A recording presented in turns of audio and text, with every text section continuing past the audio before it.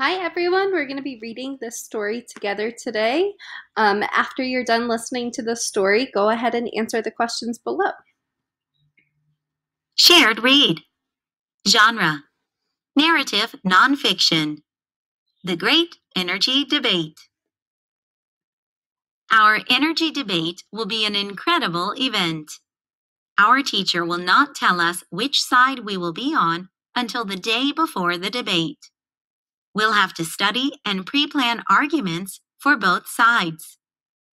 The debate is about different energy sources.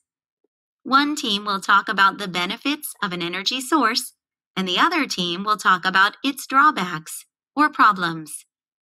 We need to understand the consequences of each resource and how they affect the environment, as well as the costs. We will talk about gasoline as an energy source. I will say gasoline is made from oil, a fossil fuel. Fossil fuels are formed over millions of years. But here is the problem. We use them far faster than it takes them to form. They are non-renewable resources. If we keep using them, there will be none left. Plus, burning these fuels pollutes the air. Those problems make it easy to be hypercritical of fossil fuels. However, most cars and factories use this kind of fuel. What is energy? Energy is the ability to do work or make a change. We use wind, sun, fossil fuels, and biofuels to produce energy. Coal is a fossil fuel. Burning coal produces heat energy that is changed into electrical energy. We use that energy to light our houses. Solar energy comes from the sun.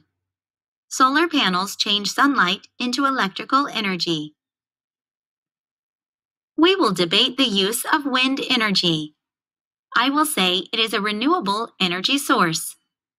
Unlike fossil fuels, wind will never run out. One large wind turbine can make enough energy for a whole city, and it doesn't damage the environment. Turbines can be put all over the world to capture wind energy. Then that energy is converted into electrical energy.